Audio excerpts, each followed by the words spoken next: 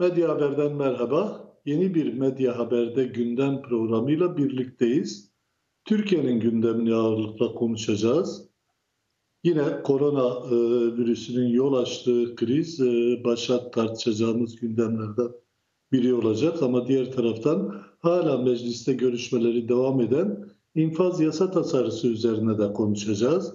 Bir diğer taraftan da tam bu dönemde KHK'liler Tabi diğer tüm sorunlarla birlikte KHK'liler de e, bir anlamda unutulduğu gibi ancak devasa bir sorun. Hele özellikle e, bu dönemde daha beter e, ücretsizliklerinden, çalışmamalarından kaynaklı daha zor günler yaşıyorlar. Aynı zamanda hapiste olan KHK'liler de var.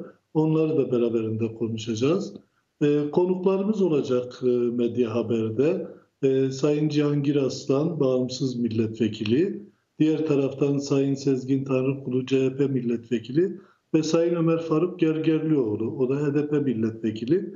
Ancak her ikisinin de özellikle e, Cihangir Bey hazır ama e, Ömer Faruk Gergerlioğlu ve e, Sezgin Tanrıkulu'nun tam da meclisin kapatılmasına yakın bugünkü görüşmeler 21'de bitecekti. Biraz uzadı sanırım. E, kapatılmasına yakın e, mecliste konuşmaları var. Ömer Faruk Gergerlioğlu şu anda da konuşuyor zaten. Konuşması biter bitmez yayınımıza her iki diğer konuğumuzu da alacağız. Sayın e, Cihangir İslam şu anda hazır. E, Cihangir Hocam merhabalar. Hoş geldiniz yayınımıza. Merhabalar. Sayın Biraz Işık, önce iyi de dedim, sağ olun teşekkürler. Biraz önce de dedim Cihangir Bey konuşmaya başlamıştı. Sezgin Bey de 5. maddede konuşuyor.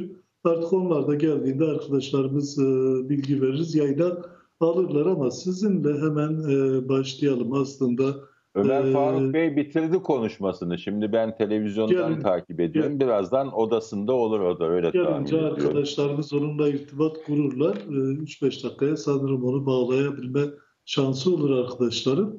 E, o gelinceye kadar, Sezgin Bey de gelinceye kadar ben hemen e, biraz da Türkiye'nin başat gündemiyle sorayım. Siz aynı zamanda tabip kimliğiniz de var. Tabip olduğunuz için de e, KHK ile e, işinizden olmuştunuz. Daha sonra vekil olup meclise gittiniz. E, Evet. Bu koronayla ilgili e, Türkiye'de çok e, önlemlerden söz ediliyor. Sa- sağlıktaki yetersizliğin yarattığı risklerden söz ediliyor ve bu risklerin e, en başta gelen etkenlerden biri olduğu söyleniyor. Ama özellikle son günlerde bir de son bir iki günde şu e, kayıtların tutulmasına ilgin bir tartış ilişkin bir tartışma yaşandı.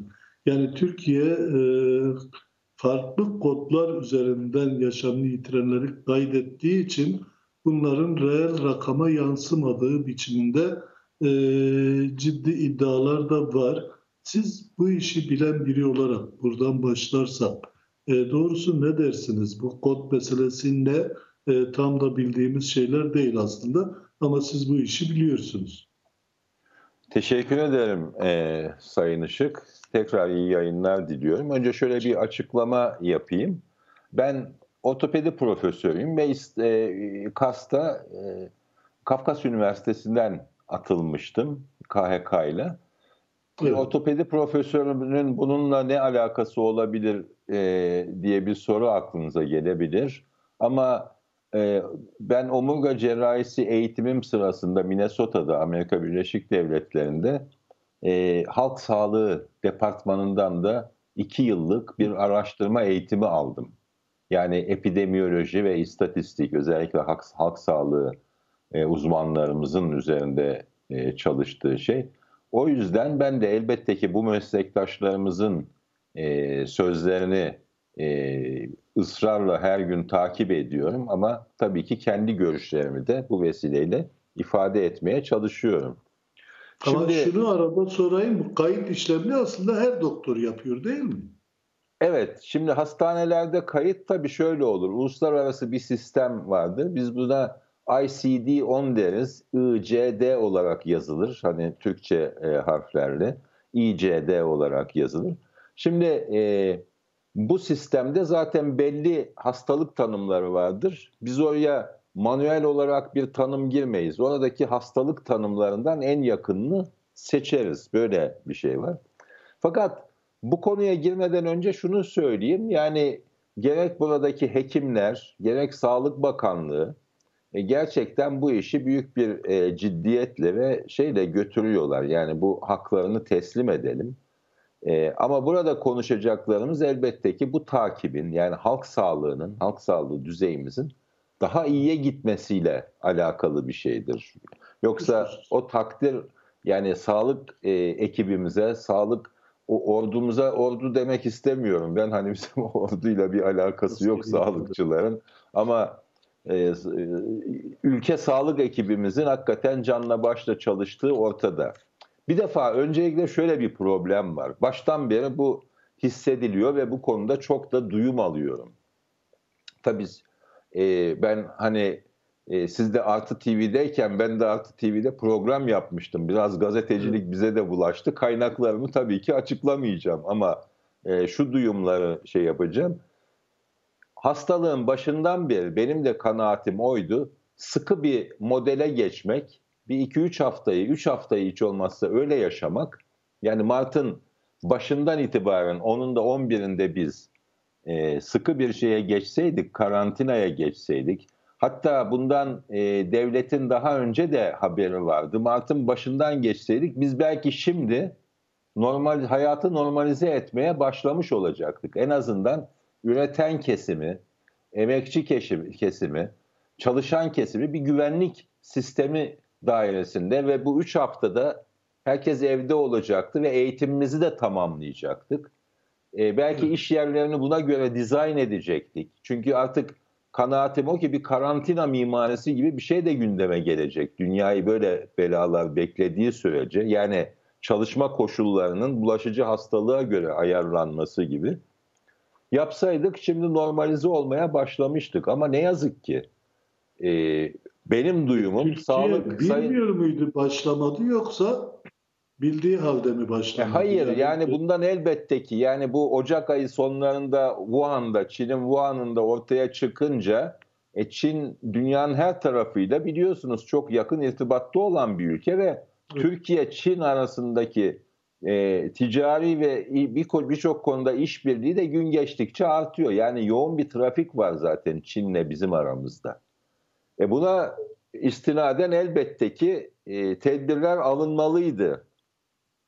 Şimdi ısrarlı bilim kurulunun, gerek bilim kurulunun, gerek Sayın Sağlık Bakanı'nın, Sayın Koca'nın e, tekliflerine rağmen ne yazık ki bunun e, Sayın Cumhurbaşkanı tarafından kabul edilmediği söyleniyor.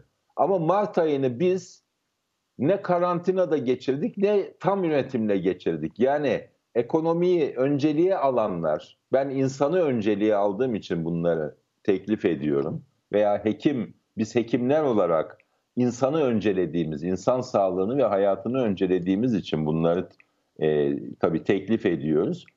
Ama bunu uygulamamakla birlikte hani tabir caizse ekonominin de bir bereketi olmadı zaten. Yani tam kapasite bir üretim de yapamadık. Ama 3 haftayı doldursaydık inanın bana biz Nisan başında normalize olmaya başlardık ve Türkiye'nin çarklarını tekrar e, çevirmeye başlardık. Yine söylüyorum. Bugünkü benim durum için, peki hocam? Bugünkü yani durumda şimdi ortamda başlamadı ve istatistiklere baktığımızda e, Türkiye'nin e, hasta kaybının e, birçok ülkenin gerisinde olduğu gözleniyor. Aşağı yukarı 9. E, sıradayız diye bugünkü şeylere bakmadım. Diğer ülkelerinki gelmedi.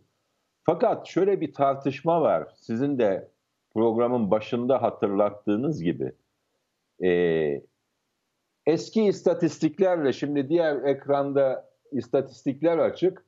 E, 2017, 2018 ve 2019 yıllarının yani bundan önceki 3 yılın 11 Mart ile 3 Nisan tarihleri arasındaki İstanbul'daki ölüm sayılarıyla bu sene arasında ciddi bir farklılık var. Ve bu farklılığı biz açıklayamıyoruz. Yani ölüm sayılarına baktığımızda açıklayamıyoruz. Çünkü Covid'den ölenlerin sayısı bu farkı kapatmaya yetmiyor.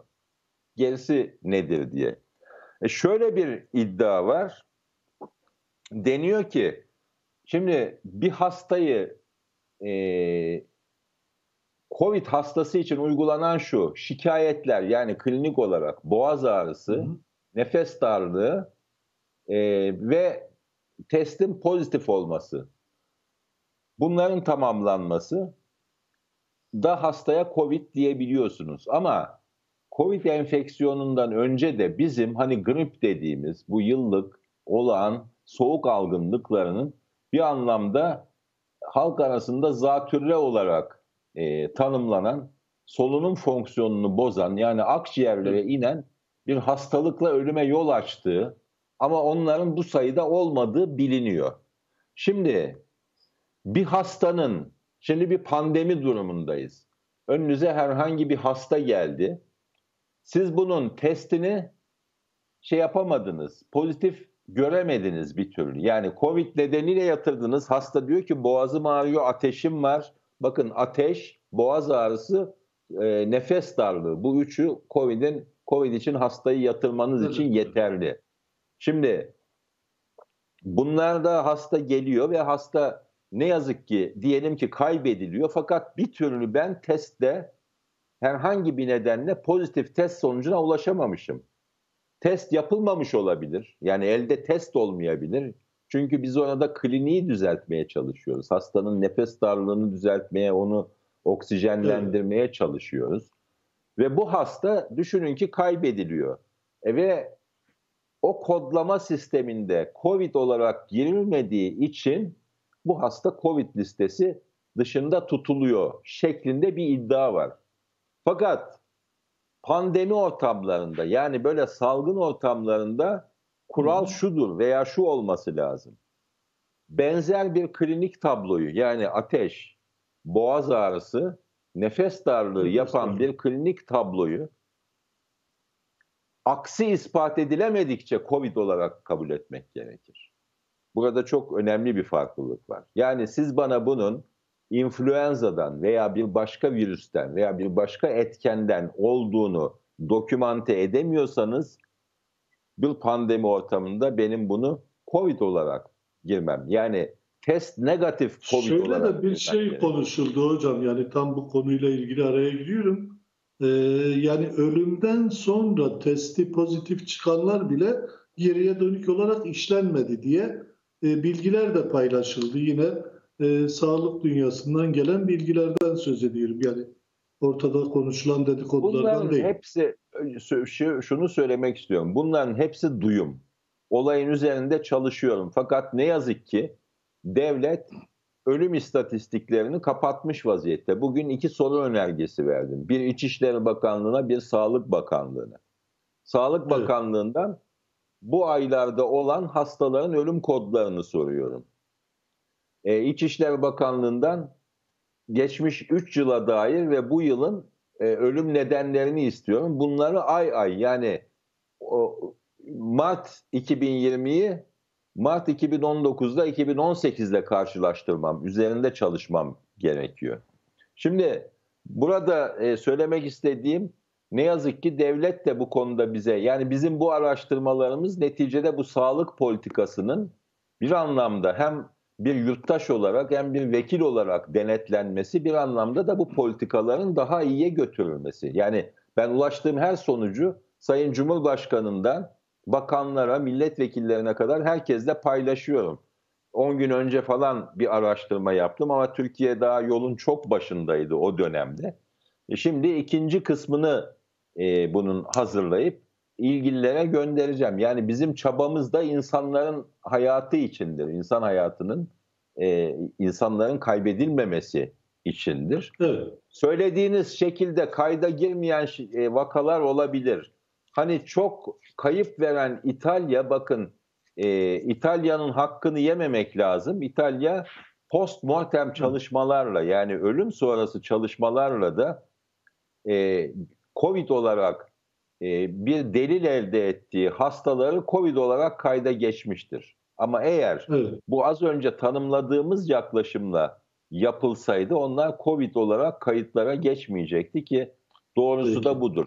Bakın pandemi Sayın... ortamında şunu da tamamlayayım müsaade ederseniz. Pandemi ortamında e, pandemi e, diğer hastalık ajanlarını bir anlamda baskılar. Yani ön plana çıkar. Tekrar ediyorum. Aksi ispat edilmedikçe benzer klinik tablo COVID olarak, test negatif COVID olarak ölüm kayıtlarına geçirilmelidir diyor. Türkiye bilinçli bir şekilde mi bunu ölüm kayıtlarını öyle geçirmiyor ya da yani sonuç itibariyle bir nedeni var mı? Sizin aklınıza gelen mi? Sayın Işık yani ben inanın o konuda spekülasyona girmek istemiyorum. Ben şu anda biraz e, bilimsel kimliğime döndüm. Yani objektif bir dille konuşmak istiyorum. Ha bir yurttaş olarak, e, bir vekil olarak derseniz e, devletin kayıtlarına hakkım olduğu halde ulaşamamak yani şu günlerde işte bu istatistik kayıtlarına ulaşamamak ortada. Yani e, devletimin geleneksel tutumu maalesef böyle. Yani vatandaşa karşı şeffaf değil, dışarıya karşı şeffaf değil. Bir anlamda yönetenler e, kendileri dışında bir takım tekliflerle veya bir takım öner, önerilerle geldiğinde adeta onları kendilerine bir düşman olarak addediyorlar. Hayır değil. Yani bu pandemi bütün insanların yani Çin'inden ne bileyim işte İngiltere'sine, Amerika'sına kadar e, bütün insanların ortak sorunudur. Biz de bu sorunun içindeyiz. E, Orta Doğu ülkeleri de bu sorunun içinde. E, derdimiz evet. mümkün olduğu Şöyle kadar bir şey diye, insanın... yani sonuç itibariyle e, Sayın Gergerlioğlu da e, geldi. E, hoş, hoş geldin. Hocam. Hoş geldin Ömer Faruk. E, artık Sezgin Bey'i de bekleyeceğiz. Umarım o da konuşmasını bitirir. ve Beni de dinlendirirsiniz biraz bu arada. Evet. Sayın ben o zaman peki sizi dinlendireyim. Hemen e, Ömer Faruk Gergerlioğlu'na, e, Sayın Gergerlioğlu'na sorayım. E, hocam sizden önce aslında koronayla başladık. Biraz e, Cihangir Bey'in tabip kimliği, sizin de tabip doktor sağlıkçı kimliğiniz.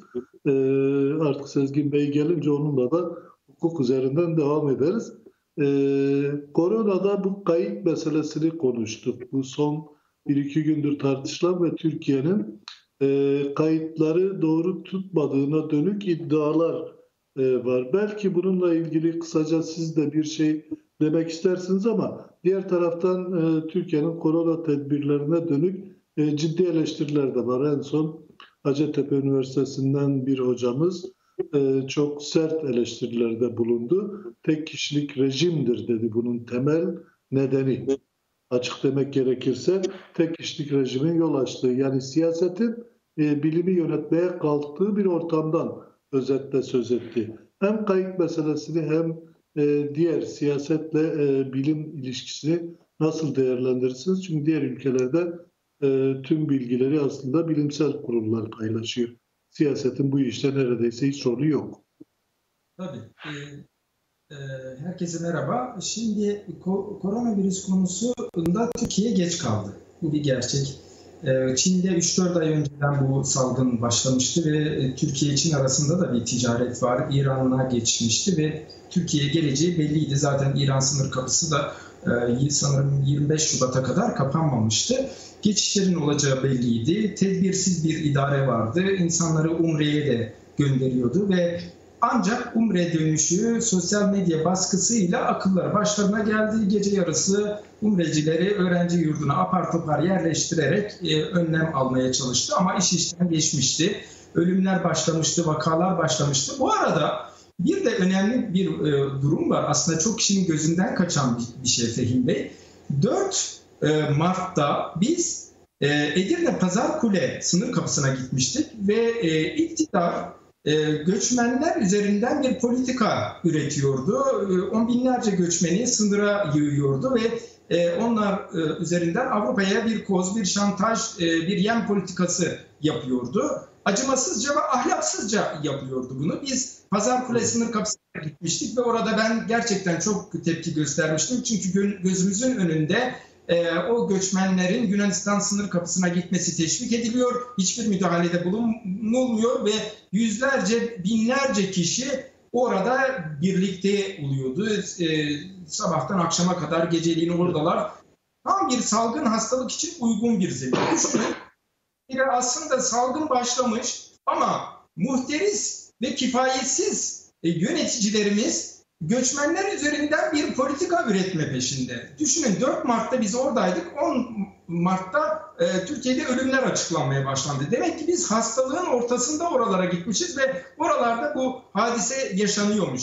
E, onu da geçelim. Biliyorsunuz daha sonrasında Süleyman Soylu kendini tutamadı. Bin tane özel harekatçıyla onları Yunanistan'a doğru itme yapıyordu. Bu, bu denli gayri insani bir anlayış vardı ortada ama sonrasında e, korona çıktı ve otobüslere doldurup gönderdikleri göçmenleri gidip otobüslerle doldurup geri aldılar. Bütün e, manzara ortadaydı. Ahlaksız senaryo... Sormak istiyorum arada. Yani onlarla ilgili bir çalışma yapabildiniz mi hocam? Yani o göçmenler içerisinde tespit edilen korona var mı? Ya da gerçekten bu konuda bir çalışma yapılabilmiş mi?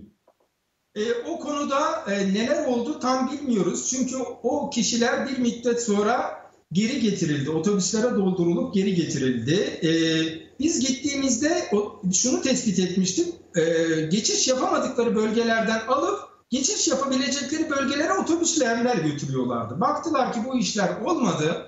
E, bu tezgah tutmadı. Daha sonra otobüslerle İstanbul'a geri getirdiler. Zaten Fehim Bey biliyoruz ki biz salgının Türkiye'deki merkezi İstanbul'dur. Bu uzun bir müddet açıklanmadı. Bir il var o ilde patlıyor diyorlardı vaka sayıları. Oradan dönen o e, mutlu ortamdan dönen insanlar İstanbul'a ne kadar hastalık getirdi bunlar resmi olarak açıklanmıyor. Bunlara e, maalesef ulaşamıyoruz. Zaten İçişleri Bakanlığı, Adalet Bakanlığı ve Sağlık Bakanlığı'nın ortak bir politikası var. Gizlilik politikası. Her şeyi gizlemeye çalışıyorlar. Çok ortak bir politika e, ve e, vaka sayıları konusunda önceden test alımı yapmaları ve e, hastalığı teşhis etmeleri gerekiyordu. Çok eksik kaldılar e, ve vaka sayıları ortaya çıkamadı. Aslında vakalar vardı ve e, ölümler de vardı ama bunları tespit edemediler. Ben şahsen ölüm raporları düzenleyen bir doktorum. Cihangir Hocam da öyledir. Şimdi ölüm raporlarında biz kesin ölüm raporunu gireriz Fehim Hocam. Yani tespit ettiğimiz kesin ölüm raporunu gireriz. Şimdi doktor arkadaşların çoğu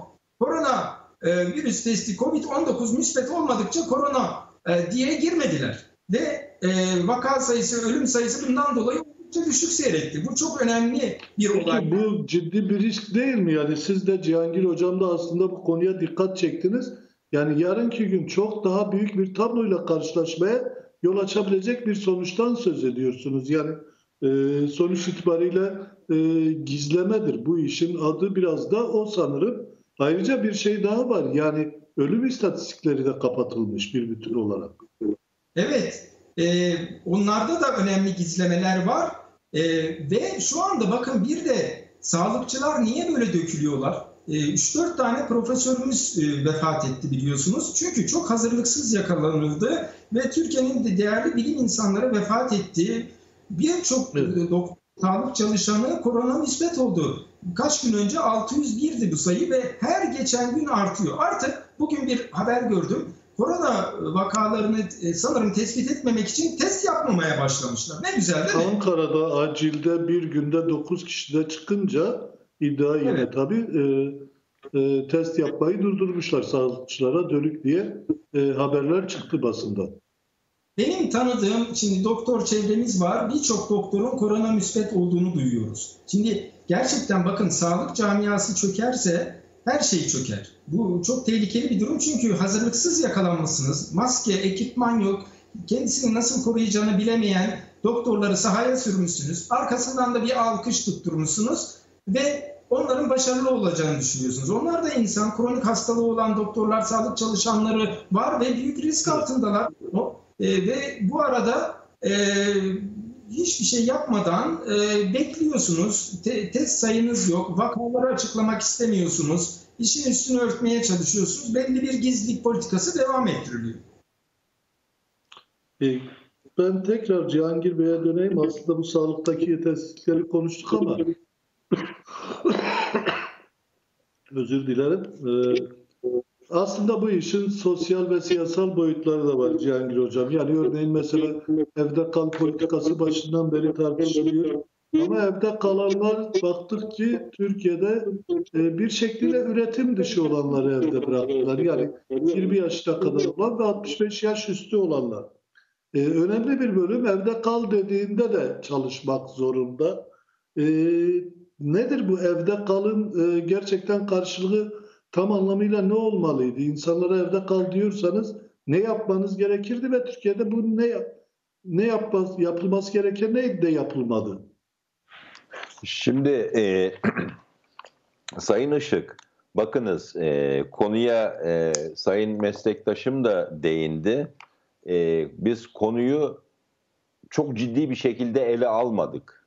Yani yapılması gereken açıkça şuydu. Üç hafta kadar geçici bir süre için sıkı bir sokağa çıkma yasağı hastalık zaptı rapt altına alındıktan sonra yani bu üç haftadan sonra ki bu üç hafta içinde aşağı yukarı siz ikiye yakın inkübasyon dönemi geçirirsiniz. Yani veya dört haftaya çıkartırsanız bunu daha garantili bir şekilde yaparsınız. Ondan sonra kısmi bir serbestlikle yani ilk başta Çin modeli dedikleri sıkı izolasyon sokağa çıkma yasağından bahsediyorum. Ben yasakçı bir insan değilim ama buna sokağa çıkma yasağı olarak bakmak değil, hastalığı önleme e, tedbiri olarak bakmak durumundayım ben bir hekim olarak. Ondan sonra da Kore yönteminin yaptığı.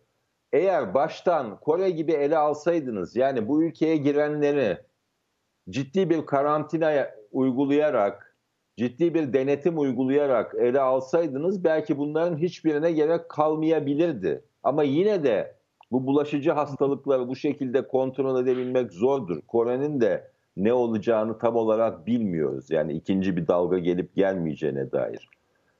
Kanaatimce yapılması gereken 3-4 hafta Çin modeli uygulanacaktı. Ondan sonra kısmi serbestlikle Kore modeli. Yani hastalığı zaptı rapt altına aldıktan sonra çıkan o odakları gidip yerinde tabir caizse boğacaktınız. Virüsü orada izole edip hemen o, o bölgeyi karantinaya veya kişileri izolasyona alacaktınız. Böyle yapılmadı. Bakın bunun üstüne Umre'ye izin verildi. Umrecileri suçlamıyorum. Beni yanlış anlamasınlar. Ne ne bilsin onlar? Böyle bir durumun durumdan haberdar bile değiller ama bu politika yanlıştı. Sadece umreciler değil. Mesela 5000 tane umrecinin başına kaldı. 200 bin aşkın insan yurt dışından giriş yaptı. Sayın Işık. Yani Paris'ten, Londra'dan, Brüksel'den, Amsterdam'dan, New York'tan bahsediyorum. Düşünün buralar pandeminin fokur fokur kaynadığı yerler. E bu insanların şu anda nerede bunlara dendi ki iki hafta işte evde kendini izole tut, sıkıntın olursa şey yap. Bunların bir takibi yok. Dediğiniz gibi evde zaten dışarı çıkmayan hani e, üretime de katılmayan insanlar evde şey yaptı kaldı. Tabii şu vardı, sokağa çıkma yasağının devlete bir bedeli olacaktı. Neydi bu? E, oturacaktı diğer devletler gibi kendi onların maaşını, kayıplarını devlet e, şeyinden, bütçesinden ödeyecekti. Yapılması Karşı gereken buydu. Bakın devlete devlete hepimizin şöyle müşterek olarak bir kez bir ihtiyacı düştü. Hayatım boyunca ilk defa böyle bir şey yaşadım. Devlet döndü halktan para toplamaya başladı, para istemeye başladı. Bu çok e, yanlış bir yaklaşım. Siyaseten de iyi yönetilmedi. Böyle durumlarda, böyle durumlarda bakın izleyin doğal afet durumlarında, yangın durumlarında belgeseller önünüze düşmüştür, izlemişsinizdir. Düşman birbirine düşman olan canlılar bile bir işbirliğine gider. Yani o ortamdan birlikte kaçabilmenin yollarını ararlar. Düşmanlıklar ortadan kalkar. Ama bu dönemde iyi yönetilmedi. Yani e, hem Sayın Cumhurbaşkanı'na hem AK Parti'nin önüne şöyle bir fırsat açılmıştı. Yani bu oluşan müşterek e, dayanışma havasının üzerine son derece iyi e, yönetememenin e, yönetim iyi anlayışıyla tabii bağlı. iyi bir siyaset oturtup belki belli günahlarını da bunun içinde eritebilme imkanı bulacaklardı ama yine evet. belediyelerin elinden yardım toplama şeyini aldılar. Yani bu aslında muhalif belediyeler elinden alındı. AK Parti ve MHP'li belediyeler böyle bir sıkıntı çekmiyor. Yani kulağımıza böyle bir şey gelmiyor. Yine buradan iç siyasette, evet. iç kutuplaşmada ne devşiririzin hesabına gittiler. Bilim burada bakın bilim siyaset bence bilim siyaset çelişmez. Yani siyasetin burada yapmaya gerektiği şey siyasetin amacı nedir? İnsan hayatı insan hayatı kurtarmak mıdır yoksa bu pandemiyi kendisi açısından, kendi siyasi emelleri açısından bir fırsata çevirmek midir? Tam ha ben burada işte sorulması gereken şu ha, değil mi hocam? Yani şu anda Türkiye'de ne yapılıyor? Bir fırsata mı çevirme söz konusu? Çünkü bu konuda da çok ciddi tartışmalar var. Yani siyaseten fırsata çevirmenin riskini toplum olarak hepimiz yaşayacağız çünkü. Elbette. Yani bu başarısızlık sadece e, bakın e, sokağa çıkanın sokağa çık hani yasakla önlenmesi şununla alakalı bir şey. Sokağa çıkan insan bunun sıkıntısını tek başına kendi çekmiyor Sayın Işık. Size de bu yansıyabiliyor. Bir bulaşıcı hastalıktan bahsediyoruz. Yani sizin bulunduğunuz ortama da bu hastalığı taşıyabiliyor ve sizin hayatınızı tehdit edebilecek bir duruma da dönüştürebiliyor mevcut hadiseyi. Bundan bahsediyorum. Yani e, gerçekten şey yapılmadı, iyi yönetilmedi. Bence e, yine hatadan dönülebilir. Yani hala e, vakit var. Çünkü e, bu bu bulaşıcı hastalıklar böyle yere dökülen su gibidir bir anlamda. Yani yayılması bir nehirin yatağında akması gibi olmaz. Bir nehirin taşması gibi olur. Yani bulduğu her evet. boşluğa girer. Ee, Allah korusun diyorum ama Allah'ın koruması için önce kendi kendimizin kendimizi korumaya karar vermemiz gerekiyor. Yani evet. böyle bir düzen içinde yaşıyoruz. Peki ben e, aslında bu konuyla da bağlantılı yani e, konuşmamız gereken başlıklardan biri olduğuna inanıyorum. E, koronayla da bağlantılı. E, KHK'liler e, önemli bir yara toplum açısından.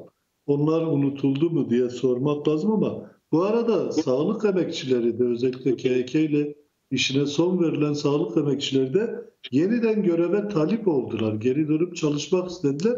Bunlar arasında mikrobiyoloji alanında da çalışan e, önemli uzman sağlık emekçileri vardı. Gerçekten durum ne e, Sayın Hocam Gergerlioğlu'na, Sayın Gergerlioğlu size soruyorum. E, bunu e, bir kez daha tartışmak lazım herhalde. E, gündemde tutmak lazım diye inanıyorum. Nedir durum? Tabii.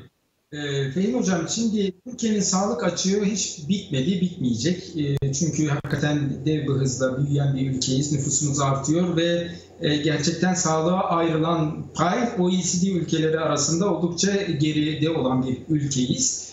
E, Şimdi zaten böyle bir durumdayken siz üç buçuk e, yıl önce KYK'larla binlerce yetişmiş, deneyimli, tecrübeli, birikimli e, akademisyenler, uzmanlar, pratisyenler, acil yoğun bakımda çalışan nitelikli sağlıkçıları bir anda ihraç ettiniz. Niye ihraç olduklarını bile bilmiyorlardı. Gece yarısı e, internetten TC'leriyle birlikte terörist vatan haini olduklarını öğrendiler tırnak içinde. E, ve ne yapacaklarını bilemediler. E, ve bu insanlar kamudan dışlanarak atıl duruma getirildiler. Kimisi cezaevine atıldı. Tanıdığım çok yoğun bakıcı, çok yoğun bakımcı, nitelikli profesörlerden cezaevinde olan, yıllarca cezaevinde olan insanlar var biliyor musunuz? Böyle çok e, doktorumuz ve sağlık çalışanı evet. cezaevinde cezaevinde olanlar da zehir edildi. E, bir özel hastaneler onları kabul etmedi ve her türlü çileyi çektiler. Düşünün iş yeri hekimliği sınavını kazandığı halde bile ki ben de bunu yaşadım e, sınavı kazandığım halde bile bana mesela ve diğer KYK'lı doktorlara belge vermediler. Ver, niye vermiyorsun? Vermiyoruz işte. Keyfimiz öyle istedi. Bakın e, resmen cevap buydu. Ee, ve bu tür uygulamalar devam ediyor. Yan dal uzmanları yine aynı sorunları yaşadı. Düşünün dahiliye üstüne nefroloji yapmışsınız, e, hematoloji yapmışsınız. E, gerçekten bilim alanında çok gayret sarf etmişsiniz. Bir ihtisası yapmışsınız, üstüne bir e, ihtisas daha yapmışsınız. Böyle insanlar e, özel hastanelerde bile iş bulamadılar. Daha da cezalandırdılar. Yani ne kadar bilim uğraşmışsanız, ne kadar e, ihtisas yapmışsanız o kadar cezalandırıldınız. Acımasız bir şekilde cezalandırıldınız. Ve 15 bine yakın KHK'lı doktor, hemşire, sağlık çalışanı ihraç edildi. Ve büyük bir açık oluştu aslında. E, biz kamu sektöründe bunu biliyoruz. Herkes kendi çalıştığı yerde bunu biliyor. Ee, insanlar işte e, büyük bir e, telaş içinde eski doktorlarını, hocalarını aradılar ama büyük bir defekt oluştu. Bundan dolayı e, hastalar büyük zararlara uğradı. Bunu çok iyi biliyoruz bakın. Büyük zararlara uğradılar. Deneyimsiz, tecrübesiz insanlar e, başa geldi ve e, mekanizmayı bilmedikleri için e, yine maalesef büyük sıkıntılar oldu. 15 bine yakın KYK'lı sağlık çalışanının durumu bu ve en son e, bu salgın sırasında KYK'lı sağlık emekçileri bana çok duygusal mesajlar yolladı Fehim Hocam. İnanın ki belki binlerce böyle mesaj aldım. Ya hocam önemli değil. Bir benim şu acil ve yoğun bakım uzmanlığım var. Bana bir görev versinler. Ben bir yerde e, çalışayım. E, yeter ki insanlara hizmet edeyim diye çok e, ileti aldım. Bunların dışında... Siz yine... bu konuyu Sağlık Bakanı'yla da görüşmüştünüz hatırladığım kadarıyla. Ee, bunu da anlatayım. Bakın bana o sırada yine ulaşan doçent doktor Mustafa Ulaşlı isimli bir e, nitelikli bir hocamız oldu. Hem tıbbi genetik hem viroloji uzmanıydı. ABD'de 4 yıl, Hollanda'da 3 yıl sadece koronavirüs çalışmış. Onun genetiği üzerine çalışmış. Çok spesifik bir alan. Çok Türkiye'de bu konuda doktorası olan tek insanım ben diyor ve e, kendisi TÜBİTAK'ta çalışmalar yapacakken 3,5 yıl önce ihraç edilmiş. Bana ulaştı. Hocam dedi ben bir şeyler yapmak istiyorum. Beni iade de etmesinler. Yeter ki görev versinler. Çünkü biliyorum ki çok büyük yanlışlıklar yapılıyor. Hocam dedi yanlış negatif sonuçlar çok fazla var. Bu işi bilen insanların elinde değil. E, bilmeyen insanlar bunu yapıyor ve halkın sağlığına büyük zarar verecek bunlar. E, ve biz bunun üzerine sosyal medyadan da baskı yaparak bakana ulaşmaya çalıştık. Hatta bizzat kendisini aradım bir cumartesi günü e, Sayın Bakan dedim böyle bir arkadaşımız var. Bir görüşün hani e, kafanıza uyar kabul edersiniz beraber çalışırsınız. Bir aşı geliştirebilecek bir ekibin içinde çalışabileceğini söyleyen bir arkadaşımız. Tamam dedi ben ekibime söyledim pazartesi onu arayacağız e, şu bu dendi e, ve o arada ne olduysa bakın çok ilginç bir ülkedeyiz. Ne olduysa e, bir anda Nedim Şener isimli kişi böyle e, gazet şey, gazetelerde yazıları çıkmaya başladı. Bu hocayı topa tuttu, hedefine aldı ve ardından da KYK'lı diğer sağlık emekçilerin iade edilmemesi için ne yapacağını bilemedi bu kişi. Ve sonunda pazartesi günü basın toplantısında bakan geçiştiren laflar etti. Ya bu hocayı çağırmayacak mısınız? Ülke dökülmeye başladı. Bakın çok iddialı bir hoca var dedi ve bakan e, bir çağrı yapmadı bu hocaya ve diğer KHK'lı sağlık emekçilerine de yapmadı. Ben bakana konuşmamda Sayın Bakan bakın güvenlik soruşturmaları iptal edilen aylardır bekleyen doktorlar var.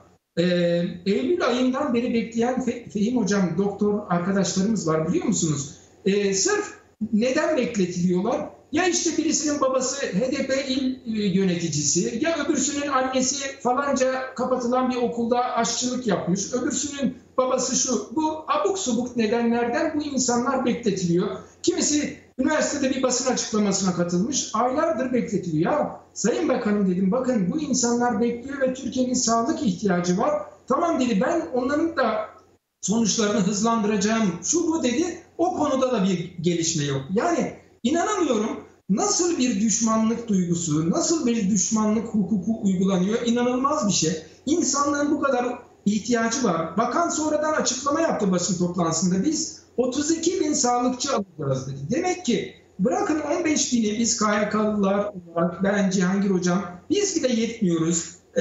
15 bin KHK'lı 32 bine ihtiyacı varmış. Demek ki ihtiyaç çok büyük ama o denli meseleye siyasi bir perspektiften bakıyor ki e, hala evet. burada gayri insani bir tavırı devam ettirmeye deva, e, sürdürüyor maalesef.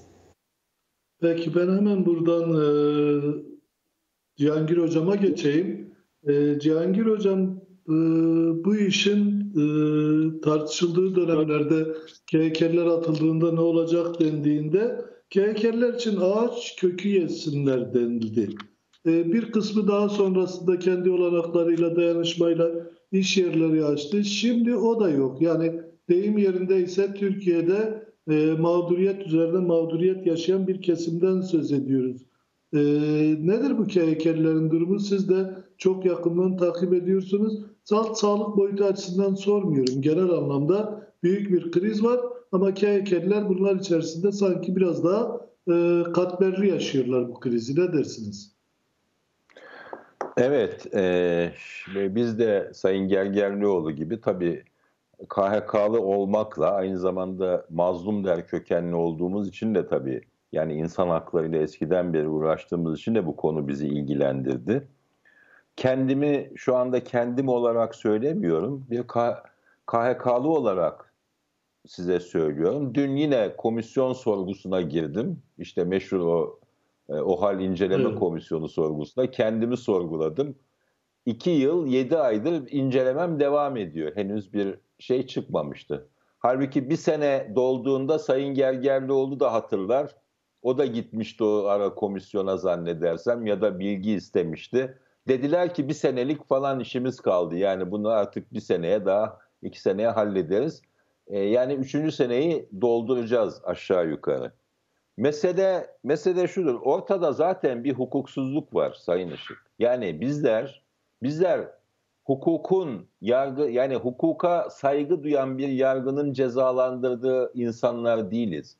Hukuka saygısı olmayan bir yürütme organının çıkarttığı listelerle cezalandırılan bir kitleyiz.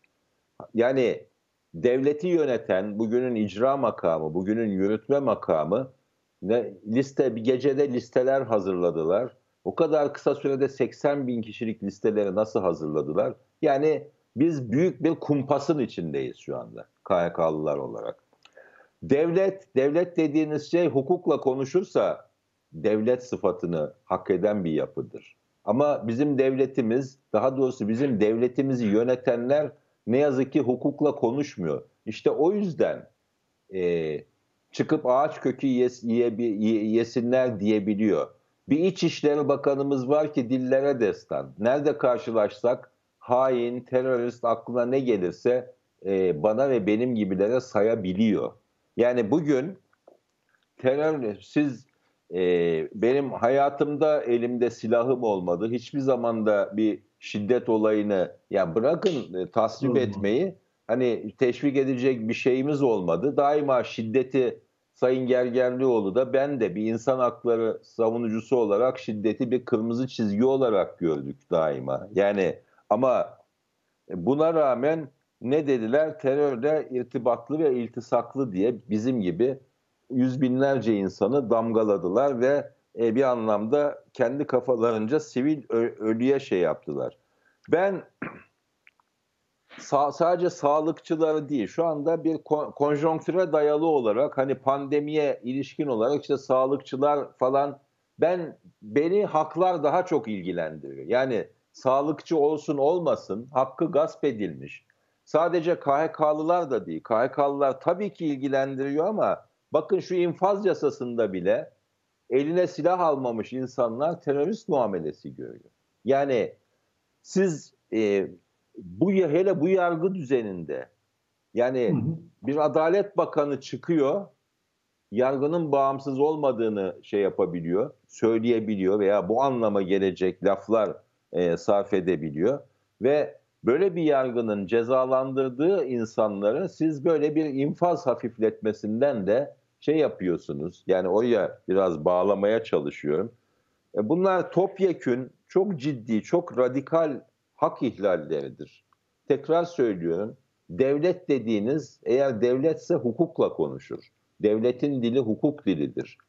Bir an önce e, tabii bize düşen de böyle bir ortamda muhalefet etmek ve bir anlamda e, her yanlışlarını ortaya koyup o yanlışları da yüzleşmelerini sağlamak. Ama orta vadede e, orta vadede Türkiye'deki muhalefetin prensipler ışığında bir işbirliği yapması ve e,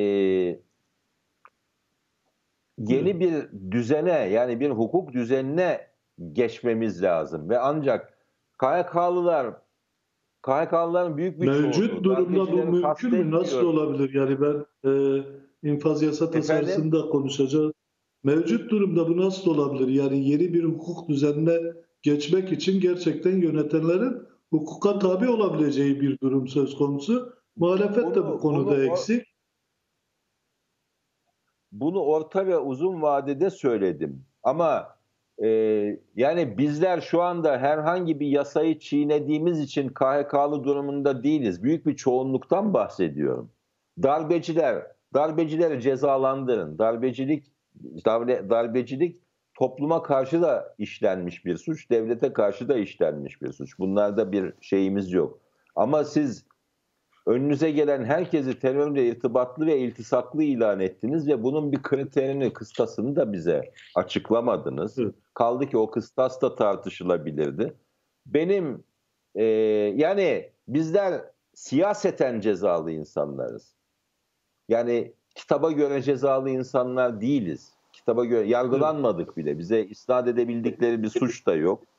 Benim benim yeni bir düzen dediğim bakınız şundan bahsettim.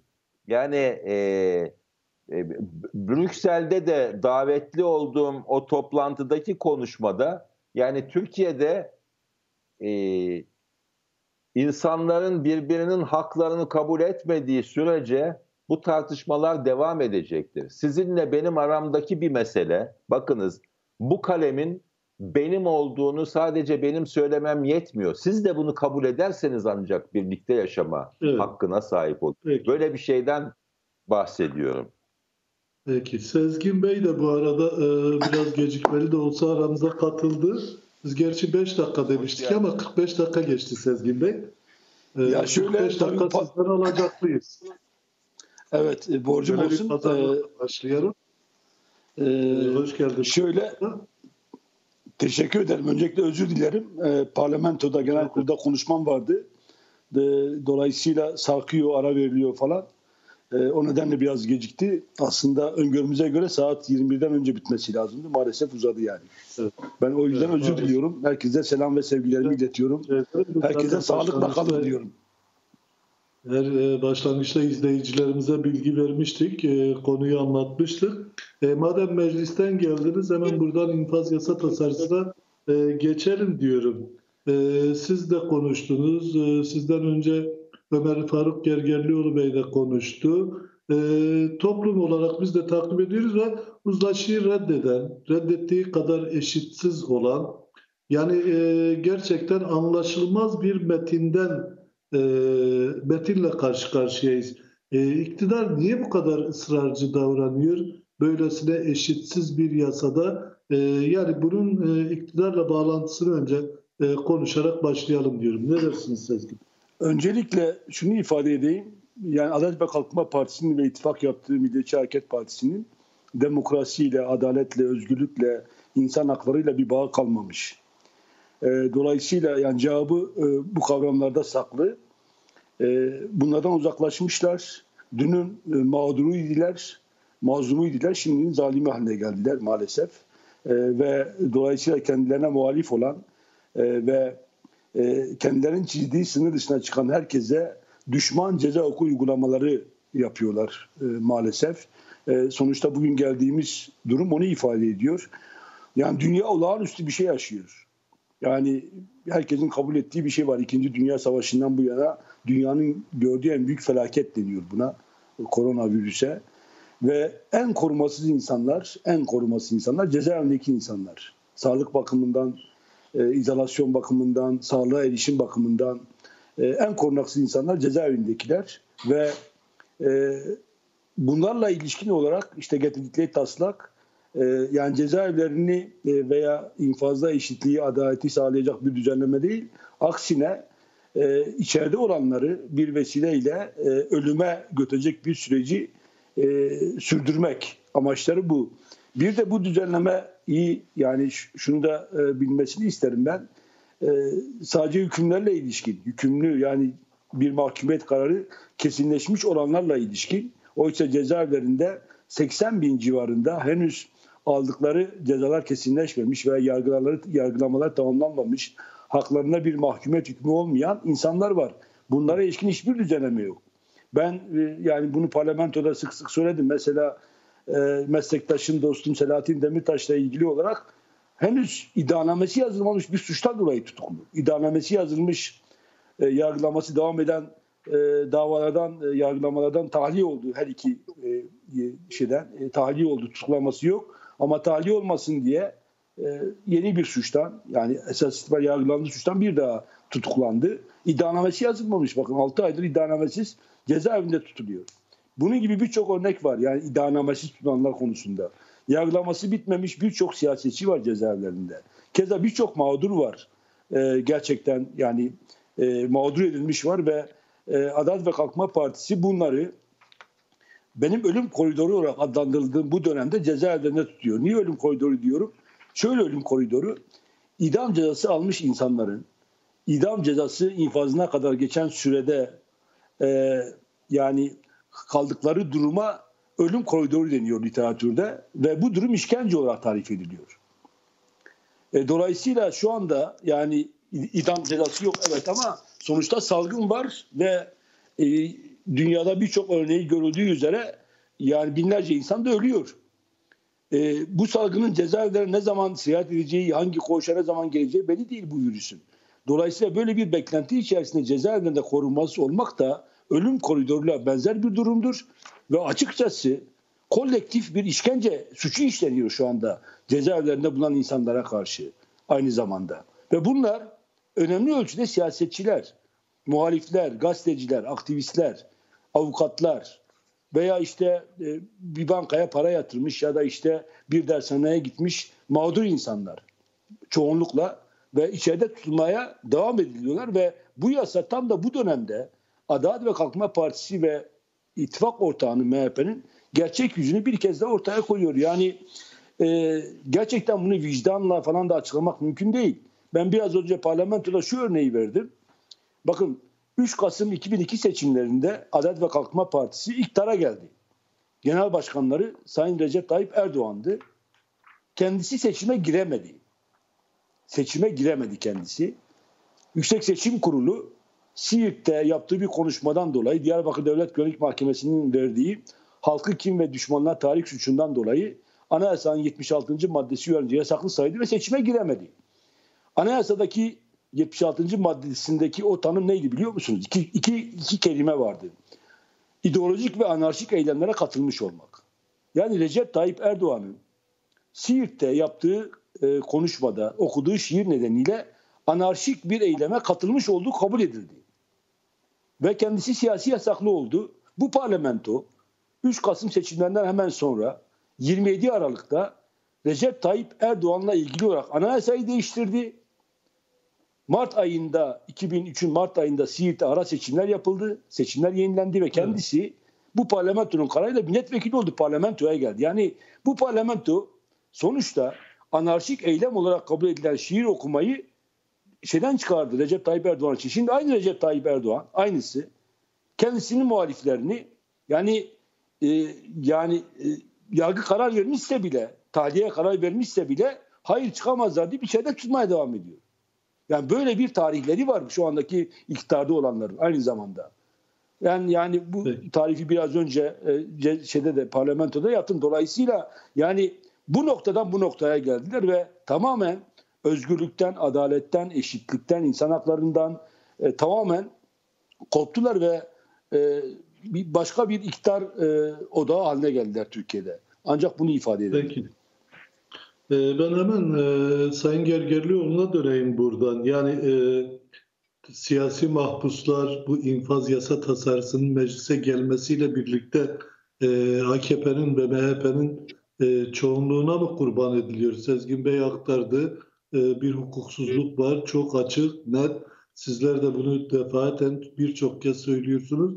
Gerçekten bu çoğunluğun vicdansızlığına terk edilmeleri ileride onulmaz yaralar da açabilir. E, bunun üstesinden nasıl gelinebilir?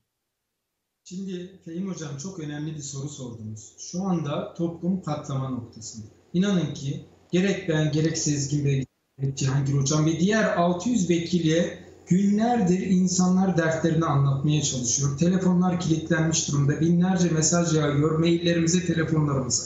İnsanlar perişan durumda. Gerçekten aileler yıkılmış durumda. Daha takatleri yok bunu kaldıracak halleri yok. Çocuklar psikolojik bozukluklar yaşıyorlar. Anneler maddi manevi büyük sıkıntılar, babalar çaresiz, antidepresif ilaç kullanan büyük bir çoğunluk var ve bu her kesimde var. Düşünün. E, şu anda HDP'nin 5000'e yakın siyasetçisi tutuklu e, cezaevlerinde ve acımasız bir düşman hukuku uygulanıyor. Yine KYK'lar sonucunda binlerce insan acımasız bir şekilde cezaevlerinde şu anda ve bu insanlar şu anda meclisten çıkacak yasayı dört gözle bekliyor. Sabahlara kadar bakın bekliyorlar bir şey çıkacak mı diye. Herkesi e, çok büyük bir dikkat kesilerek dinliyorlar bir şey var mı diye. E, ama eğer ki bakın şunun altını çizeyim. Eğer ki buradan adil ve eşit bir yasa çıkmazsa çok tehlikeli şeyler olabilir. Bundan sonrasında Allah korusun intihar eden anneler, babalar, çocuklar olabilir. Cezaevlerinde büyük sıkıntılar olabilir. Batman cezaevinde biliyorsunuz çok önemli sıkıntılar yaşadı. Biz cezaevine çok gidiyoruz. Koğuşlarda bakın bize çok ihlal anlatıyorlar Fehim Hocam ama en başta her koğuş bakın her farklı koğuşa da gitsek hepsi ilk önce şunu soruyor. İnfaz yasası ne durumda? Büyük bir merakla bekliyorum. Bize de bir şey vuracak mı düşünce suçları? Onlara inanın ki Fehim Hocam ne diyeceğini bilemiyoruz. Yani gerçekten insan üzülüyor. O büyük ihlaller içindeki insanlar e, büyük bir beklenti içinde cezaevlerinde de çok sıkıntı olabilir. Orayı da biliyorum. Oranın tansiyonunu da inanın çok iyi biliyorum. Bakın Batman örneği var. Allah korusun yani biz oradaki insanların ne e, herhangi bir isyanla ne de bir herhangi bir salgınla canlarını kaybetmesine razıyız. Kesinlikle karşıyız ama ortam kesinlikle iyi değil e, perişan olmuş, yıkılmış aileler var ve artık bu kaldırılamayacak bir durum. Bu dönemde hapishanelere gidebiliyor musunuz? Ee, çünkü daha önce e, aynı zamanda komisyon üyesisiniz bildiğim kadarıyla.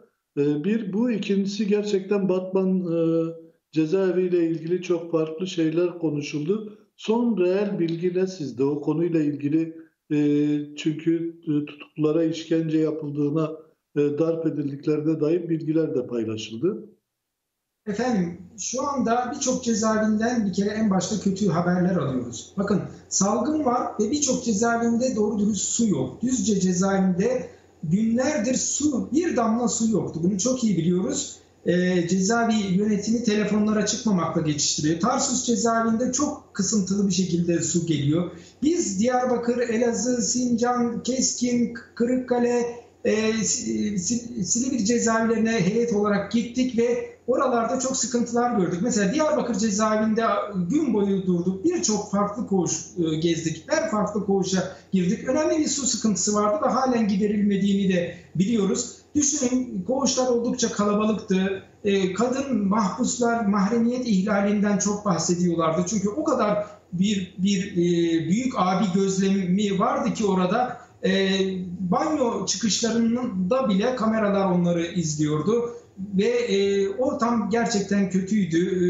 E, e, koğuşlar kalabalıktı ve bu ortama bakın sonrasında Batman cezaevinden mahpuslar nakledildi. Batman cezaevi de kalabalık bir cezaevi ama isyan sonrası tüm cezaevi değil ama önemli bir bölümünün Diyarbakır cezaevine nakledildiğini biliyoruz. Önemli bir e, isyan olmuş. Birçok koğuş kullanılamaz hale gelmiş. Ben şimdi Diyarbakır cezaevinin halini düşünemiyorum. Biz zaten oraya gittiğimizde inanın ki bakın hasta yatağında yatan kadınlar gördük.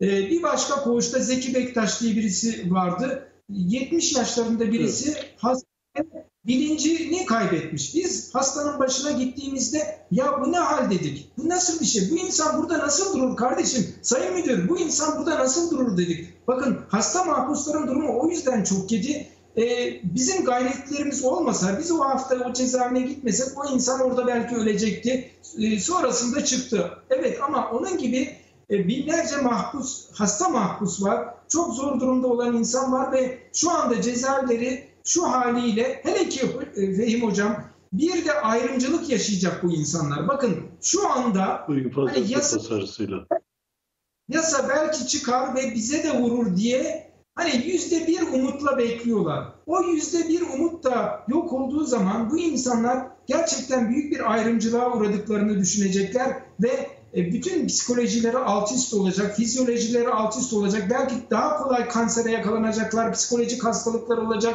kronik hastalıkları artacak. Bunları bir doktor olarak ben çok iyi biliyorum ve o yüzden bakın bugün de mecliste vicdanlarınıza sesleniyorum. Yapmayın, etmeyin. Bu çok ayrımcı ve zalimce bir yasadır dedik ama e, kulakları var ama duymazlar, gözleri var ama görmez bir durumdalar. Vicdanları da kesinlikle yok, bitmiş durumda. Peki.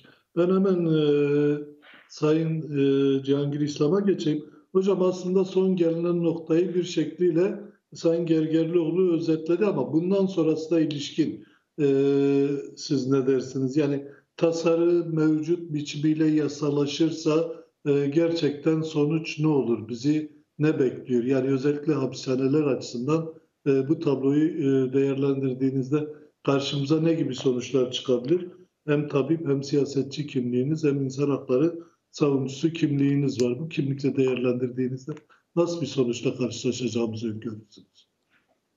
Teşekkür ederim e, Sayın Işık.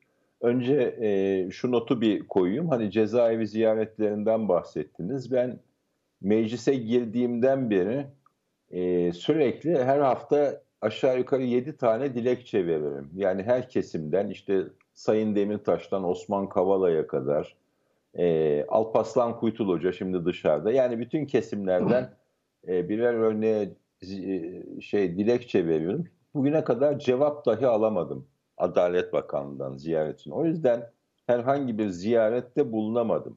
Şimdi önce şunun e, genel bir değerlendirmesini yapalım. Sayın Tanrıkulu ve Sayın Gergerlioğlu teknik bakımdan ve sosyal etkileri bakımından gayet güzel ortaya koydu. Burada ne yapılmaya çalışılıyor? Buna bir buna bir göz atalım. Bakın evet. 100 bin kişide 100 bin kişide cezaevindekilerin oranı Avrupa'da 100, dünyada 146, bizde 350. Yani her 100 bin kişiden 350 kişisi cezaevinde. Dünya ortalamasının aşağı yukarı iki mislinden çok bir rakam bu. Burada olayın, burada olayın sistemle alakalı bir olay olduğunu, problem olduğunu düşünüyorum. Biz yargı ve tabii ki bu e, af konusunda elimizden gelen her şeyi yapalım ama bizim mutlaka yargı ve hukuk sistemimizi masaya yatırmamız, e, meselenin hem yasal boyutunu hem uygulama boyutunu çok ciddi şekilde ele almamız gerekiyor. E, bu sistem içinde en basitinden şunu söyleyeyim. E, Sezgin Bey de bir hukukçu olarak bunun gayet içinde e, tutukluluk adeta bu ülkede bir cezalandırma yöntemi olarak kullanılıyor. Yani evet. insanları cezaevine atıyorsunuz ve uzun süre sadece ve sadece yürütmenin yani icranın yargı üzerindeki tahakkümüyle e, bu uygulanabiliyor. Bugün vesayet ortadan kalkmamıştır. Biz geçmişte askeri vesayetten çekmiş bir ülkeyiz. Belki bu kısmen dindirildi ama bugün yürütmenin yargı ve yasama üzerindeki vesayetinden bahsedebiliriz. Yani Cumhurbaşkanlığı sisteminin getirdiği yeni bir vesayetten bahsedebiliriz. Devlete karşı işlenmiş bir suç tanımı var. Tamam bu birçok ülkede vardır belki. Eğer bir yanlışım varsa Sayın Tanrıkulu beni mutlaka düzeltecektir ama devlete karşı işlenmiş suç şu olabilir. Yani bir darbe yapmaya kalkarsınız. Yani halkın iradesini ve devletin meşru yönetimini anayasal düzeni silah zoruyla yıkmaya çalışırsınız. Bu başka bir şey. Ama insanların attığı bir tweet'i, ne bileyim insanların astığı bir pankartı, astığı bir afişi, yaptığı bir dernek çalışmasını, sivil toplum çalışmasını siz e, bu grup içine sokuyorsunuz ve insanlığın aslında asli suçlarını yani insanların canına, malına, bedenine kasteden, insanların temel haklarını yok eden asli suçları adeta göz ardı ederek tamamen devlette karşı işlenmiş suç bir anlamda kurgusal bir suçtur. Ve bu siyasi dönemden siyasi döneme de değişebilir ve değişmiştir. Bizim ülkenin tarihinde bu bunu gözlemek, ne bileyim 20 yıllık, 30 yıllık periyotlarla bunu gözlemek mümkündür. Burada yapılması gereken, burada yapılması gereken şey şu anda %70'i hükümlü, %30'u tutuklu olan cezaevindeki 300 bin kadar insanımızın aşağı yukarı %90'ın 90'ını ilgilendirmeyen bir teklifle yani son derece seçici, son derece istisnai davranan bir teklifle şey yapıyoruz. Benim açıkça teklifim şudur. Uzun vadede mutlaka yargı ve hukuk sistemimiz yani yasal sistemimiz ve uygulama ciddi şekilde orta ve uzun vadede elden geçirilmeli ama bu pandemi de pandeminin vesilesiyle yani insan kayıplarını önlemek için olabildiğince kuşatıcı, adil ve gerçekten insanlar arasında ayrımcılık yapmayan ki bu o zaman e, yönetimi dahi ciddi tartışmanın içine çeker. Yani anayasa ihlali olur, anayasadaki eşitlik hakkının ihlali olur, hukuk devletini tartışmaya açar. Olabildiğince adil ve geniş kapsamlı, öncelikle insanların hayatını kurtarmaya yönelik, daha sonra da neticede verilen cezaların amacı tamam bir cezanın çekilmesi prensibi vardır ama bunun yanında insanları topluma kazandırmaktır. E, topluma kazandırılmış insanlarımızın da artık daha fazla cezaevlerinde çürütülmeden bir an önce e, üretken kimliğine lazım. döndürülüp topluma kazandırılmasını diliyorum. Başka bunun için çabalıyorum. Peki. Ee, Sezgin Hocam, e, Sayın Gergerlioğlu da Sayın e, Cihangir İslam da dikkat çekti. E, siz de e, hukukçu kimliğinizle değerlendirdiğinizde önümüzdeki dönemde bu e, yasanın bu biçimiyle e, çıkması durumunda e, hukuksal nasıl bir süreç izlenebilir? CHP ana muhalefet ve Anayasa Mahkemesi'ne götürülme durumu söz konusu mu? Böyle bir şey yaşanır mı? E, Anayasa Mahkemesi'nin tutumu ne olabilir? Bir ikincisi bir de çok açık e, ihlaller var. Yani örneğin yüz kızartıcı suç işleyenler e, birçoğu çıkacak belki de bu yasayla.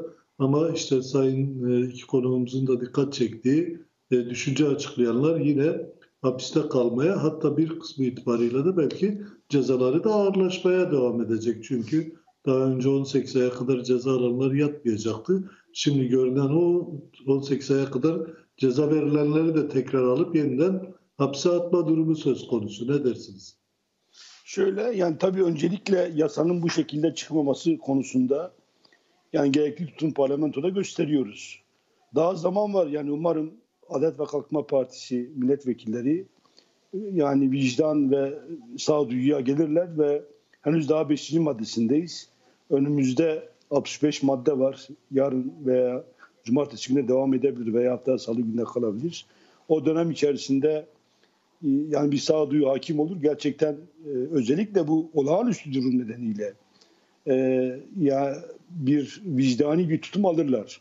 Eğer almasalar yani böyle bir şey çıkarsa, şey mümkün mü e, iktidara yani, rağmen ya da Erdoğan'a şu, rağmen AKP'li vekillerin farklı bir tutum alıp e, muhalefetle birlikte davranması mümkün mü? Yani özcesi vicdan harekete geçer mi? Ben şöyle yani tabii ki bu bir temenni aynı zamanda. Yani e, sonuçta vicdan dediğiniz e, mesele insanların kendisiyle e, ilgili bir meseledir. E, yani umuyorum Sayın Erdoğan yani meclis görüşmelerini izliyordur. E, yani e, sonuçta yani kendisinin e, vereceği talimat da olabilecek işler tabii ki bunlar. Umuyorum izliyordur ve bir e, noktaya gelinir. Umuyorum. Eğer gelinmezse ne olur? İki seçenek var. Tabii ki Anayasa Mahkemesi yolu var. E, 100 milletvekilinin veya grubu olan bir siyasi partinin yani daha doğrusu ana muhalefet partisinin Anayasa Mahkemesi'ne götürme hakkı var. Geçmişte de Anayasa Mahkemesi'ne gidilmişti ve Anayasa Mahkemesi benzer yasaları çok geniş şekilde yorumlayarak eşitlik ilkesine ve hukuk devleti ilkesine aykırılık nedeniyle anayasa aykırı bulmuştu ve e, kapsamını genişletmişti. E, yani muhtemelen ana muhalefet partisi olarak CHP gidecek eğer yasa bu şekilde çıkarsa. E, yani ikinci seçenek de mahkemelerin görülmekte olan bir dava nedeniyle Anayasa Mahkemesi'ne e, davayı taşımalarıdır. Her iki yolun da mümkün olabildiğini e, söyleyebilirim ama tabii bunlar uzun meseleler. Yani bugün Anayasa Mahkemesi'ne gitseniz alacağınız sonuç e, yani 3 ay, 5 ay, 6 aydır ve Anayasa Mahkemesi'nin e, eski Anayasa Mahkemesi olmadığını da biliyoruz. Yani sonuç itibariyle. Evet 2001 yılında e, Rahşan Afı olarak adlandırılan e, başvuruda bir karar vermişti ama o Anayasa Mahkemesi bu Anayasa Mahkemesi arasında e, çok büyük fark var. Yapısı itibariyle çok büyük fark var. Çünkü bu Anayasa Mahkemesi 2001 yılında e, siz de çok iyi hatırlarsınız olağan, e, olağanüstü hal bölgesiyle ilgili olarak kanun hükmünde kararnameleri anayasaya aykırı olarak iptal etmişti. Ve o zaman Anayasa Mahkemesi demişti ki siz kanun hükmünde kararnameyi amacı dışında çıkartamazsınız demişti. Böyle bir karar vermişti. O işte bu Anayasa Şimdi Mahkemesi ise evet bu Anayasa Mahkemesi ise benim işim değil ben incelemem dedi ve sonuçta e, şeye Adalet ve Kalkınma Partisi'ne bizim kabul etmediğimiz bu anayasayı bile askıya alma fırsatı verdi yani sonuç itibariyle. O nedenle ben Anayasa Mahkemesi'ne gidilirse bu yapıdan e, çok e, yani bir anayasa aykırılık e, ile ilgili bir şey çıkacağını çok yani iyi, iyi değilim. Yani böyle bir beklentim yok doğrusunu isterseniz. Dolayısıyla yapılacaksa sonrasında bu haksızlıkların giderilmesi. Şöyle e, e, bakın, mecliste çoğunluk var. Anayasa Mahkemesi'nin hukuki davranmayacağına dair ciddi işaretler var. E, o da biraz da yönetimin e, oluşma biçimiyle, tek kişilik yönetimle alakalı bir durumdan söz ediyorsunuz. Ama Türkiye'de hem e, sağlık açısından ciddi bir riskle karşı karşıya hem de cidden insan hakları, hak, hukuk, adalet, eşitlik dediğimiz noktada karşı karşıya olduğu ciddi durumlar var. Yani muhalefet, toplumsal muhalefet, meclisteki muhalefet cidden ne yapmalı? Yani buna dönük ya, ee, ne önersiniz? Ya el, elimizden tabii geleni yapıyoruz bu sınırlar içerisinde. Biz de yapıyoruz. Diğer siyasi, diğer muhalefet partileri de yapıyorlar tek tek. Ama sonuçta hukuk tanımayan, anayasa tanımayan, yargı kararlarını tanımayan e, bir anlayış var. Bu anlayışla yani demokratik alanda e, gücümüzün yettiği kadar mücadele etmeye çalışıyoruz. Ama şunu anlamalılar her şeyden önce. Yani bu af normal bir dönemde gündeme gelmedi bütün dünyanın savaştığı ve bütün dünyayı teslim almış bir virüs var. Ve bu virüs yani koğuş kapısını, bazgal kapısını, cezaevi kapısını tanımıyor sonuç itibariyle. Yani her yere giriyor. En en korunaklı insanlar bile bu virüsten etkileniyor bu e, sonuç itibariyle. E, dolayısıyla böyle bir kırma, kitlesel bir ölüme izin vermemeleri çağrısında çağrısını yapıyoruz. Yoksa yani şimdi mahkemeler daha dün yapılan başvurular diyor ki kaçma şüphesi var. Ya şimdi Allah'tan korkun. Yani bütün havalimanları kapalı. Sınır kapıları kapalı. Şehirler kapalı. ilçeler kapalı. Kimse evinden çıkamıyor. Cezaevinden çıkacak adama mahkeme diyor ki belki o belki o hakim de mahkemede değil ama ha, kendi evinden karar veriyor. UYAP üzerinden. Diyor ki kaçabilir. Ya kendisi mahkemeye gidemiyor. Adliyeye gidemiyor karar yazarken. Ama cezaevindeki evet. insana kaçabilir diyor. Ya bu anlayışı yani her yerde mahkum etmeliyiz. Bakın iddia ediyorum hakimler bu tutuklamaya devam kararlarını adliyede vermiyorlar. Kendi evlerinde veriyorlar. Kendi evlerinden çıkamıyorlar. E, e, cezaevindeki insanları ise çıkarlarsa kaçma şüphesi var diye içeride tutuyorlar. Bizim bunları teşhir etmemiz lazım. Bunları kendi ortamlarında vicdanen mahkum etmemiz lazım. Mesele biraz burada. Bakın sonuçta yani tek tek mahkum etmemiz lazım. Kamunun vicdanında mahkum etmemiz lazım. Şimdi bir hakim nasıl klavyenin başına geçer? Ezbere bir karar yazar. Kendisini koruyacak kendi evinde. Marketten alışveriş yapmayacak, sokağa çıkmayacak, adliyeye gitmeyecek. Bütün yollar kapalı olacak.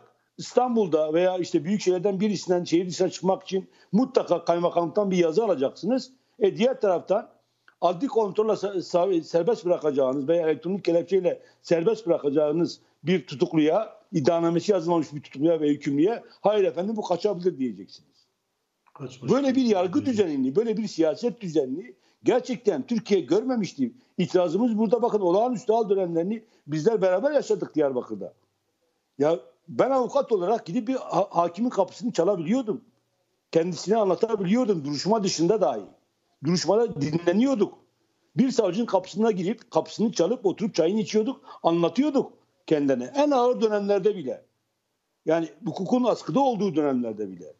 Ama şimdi bakın yani evinden çıkmayan, kapısının dışına çıkmayan hakimler başkalarının yaşam haklarıyla ilgili olarak böyle e, um, umursamaz kararlar veriyorlar. İtirazımız burada biraz aynı zamanda.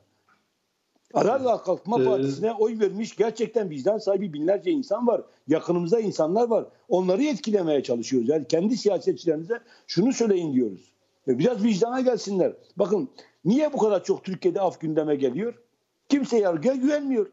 Türkiye'de yargıya güven yüzde yirmi. Yani her yüz insandan 20 kişi yargıya güveniyor. Adaleti sağladığına inanıyor. Her yüz kişiden. Adalet ve Kalkınma Partisi ile ittifak yaptığı MHP'nin oy oranı şu anda yüzde kırklar civarında. Demek ki onların o, yani seçmenin yüzde yirmi yarısı da yüzde ellisi de bu yargıya inanmıyor. Evet. Ve bu yargıya evet. bu yargıya biz yurttaşlarımızı teslim etmişiz. İnsanlarımızı teslim evet. etmişiz. Gerçekten siyaset yapan, suçu günahı olmayan, suçu günahı olmayan, eline silah almamış, eylem yapmamış, ondan sonra darbe yapmamış insanları cezaevlerinde tutmaya devam ediyoruz. Bakın bu, bu düzen içerisinde şöyle şunu bilin yani bilinmesini istiyorum. Suçu yüzde yüz sabit olan insan bile yani adam öldürmüş. Yani bütün kanıtlar var. Teknik kanıtlar her şey var yani. Gidin cezaevine diyor ki ben adil yargılanmadım. Yani kuşku yok yani o suçu işlediği konusunda. Af çıksın diyor. Niye? Yargıya güvenmiyor çünkü. Ee, son 5 dakikamız aslında. Ben e, son sözü yine Sezgin Bey'e vereceğim. E, çünkü o en geç gelen. E, Sayın Gergerlioğlu gerçekten ne yapmak lazım? Böyle kısa özet, e, bir iki dakikada siz özetlerseniz hemen peşinden Sayın Cihangir İslam da e, bir iki dakikada özetlerse ne yapmalıyı, e, son ne yapmalıyı da Sayın Tarık Kulun'a sorarak programı bitirmek istiyorum.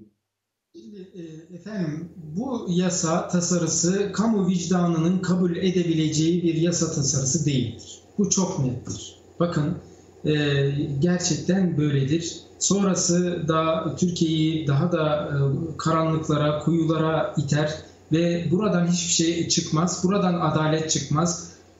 Zaten şu anda iktidar adalet duygusuyla değil cezaevlerini birazcık rahatlatalım yerine yeni muhalifleri doldururuz yer birazcık açılsın düşüncesiyle hareket ediyor. Biz e, tüm sivil toplum olarak e, medya baskıya devam etmemiz lazım.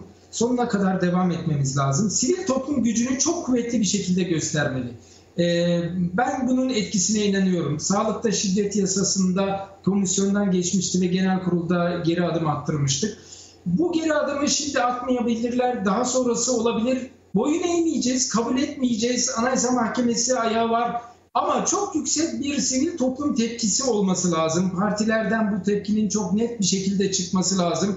E, buna devam etmemiz lazım diye düşünüyorum. E, elimizden gelen tüm gayretle, tüm güçle buna e, destek olalım. Peki biz de o gayretinizde sizinle birlikte olacağız. Bundan emin olabilirsiniz. Ee, Sayın İslam e, siz ne dersiniz? Yani çok genel olarak şunları hatırlatacağım. Ee, bir defa devlet insan içindir. Ben bu noktadan yola çıkarım.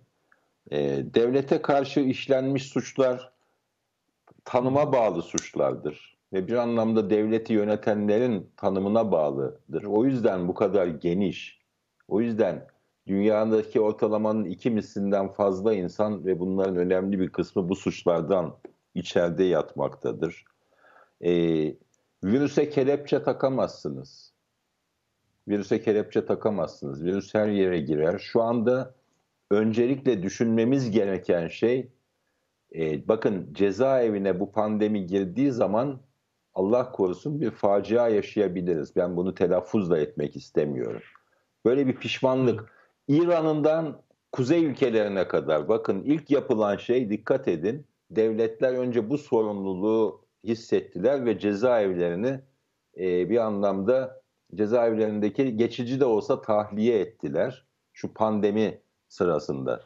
Uzun vadede buna bir çözüm bulmalıyız. Sistem olarak bunu el birliğiyle yani söylediğim gibi şu kalemin şu kalem benimdir demem yetmiyor. Bunu sizlerin de tanıması lazım. Yani birlikte ortak bir e, düzen kurmamız gerekiyor. Ortak bir anayasa yapmamız gerekiyor. Bu ülkeyi hukuk devleti haline çevirmek hala mümkündür. Umudumuzu kesmeden Hı. çalışalım. Ama bu af yasasını da bu af yasasını da adil bir şekilde insanlar arasında ayrımcılık yapmadan yani e, insanların temel haklarına bulaşmamış, teröre ve şiddete karışmamış insanları siyasi görüşleri yüzünden bu işin içine dahil etmeden affın içine katalım ve adil bir sonuca ulaşalım diyorum. Ee, inşallah Peki. akılları başına gelir ve birlikte bu meclis bunu oy birliğiyle adil bir şekilde çıkartır diyorum. Teşekkür ederim. Peki Sayın Tanrıkulu e, size de e, verelim aynı zamanda mecliste ana muhalefetsiniz. Ana muhalefet olarak e, belki de muhalefetin tümüne öncülük, öncülük edecek güce sahipsiniz. Sivil toplumla birlikte bu işi yürütmekte meclise, ana muhalefete ne gibi görevlerde düşüyor? Bunu da belirterek son sorumu da size sorayım.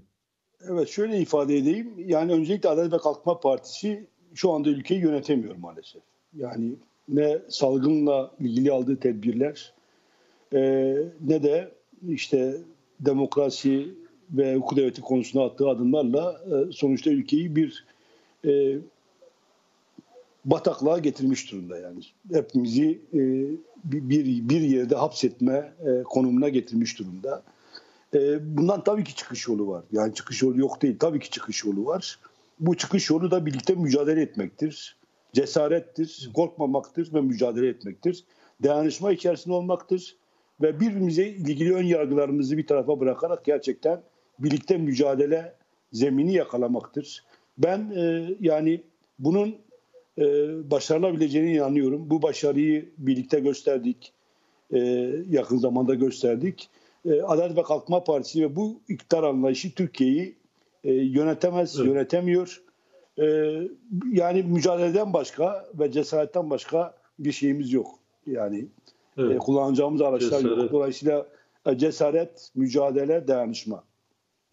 Evet cesaret de bulaşıcıdır zaten. Bir yerden başladı. Bu evet. koronadan beter bulaşır. Onu da biliyoruz ayrıca. Evet. Ee, ben e, her üçünüze de teşekkür ediyorum. E, doğrusu programa e, meclisteki koşullar nedeniyle birlikte başlayamadık. E, Sayın Gergerlioğlu ve Sayın Tanrıkulu genel kurulda konuşmaları vardı. Ama e, üçünüzle birlikte e, bitirmek de hoş oldu. Çünkü programı duyururken sizlerin adını zikrettiğimde e, çok olumlu tepkiler aldım. Yani özellikle hak, hukuk, adalet, eşitlik temelli çalışmalarınız nedeniyle e, kamuoyu da sizleri çok yakından izliyor. Umarım e, emeklerimizin, emeklerinizin e, çabasını alırsınız. E, böyle diyeyim bir kez daha da Sayın e, Cihangir İslam, Sayın Sezgin Tanrıkulu ve Sayın Ömer Faruk Gergerlioğlu sizlere yayına katıldığınız için teşekkür edeyim. Başka yayınlarda da görüşmek dileğiyle. Teşekkür ederim. Selam ve sevgiler, sağlıkla kalın. Sağ olun, çok teşekkürler. Sevgili izleyiciler, e, bir e, Medya Haber'de gündem programının sonuna daha geldik. Ee, üç konuğumuzla Sayın Ömer Faruk Gergerlioğlu, Sayın Cihangir İslam ve Sayın Sezgin Tanrıkulu ile e, konuştuk. Türkiye'nin gündemini, korona gündemini, hapishanelerdeki riskli bekleyişi, infaz yasa tasarısını ve KHK'lilerin durumunu e, birlikte konuştuk. E, önümüzdeki programlarda yine Türkiye'nin gündemini Medya Haber'de gündemde hep birlikte konuşacağız, tartışacağız. Bir dahaki programda buluşmak dileğiyle. Hoşçakalın.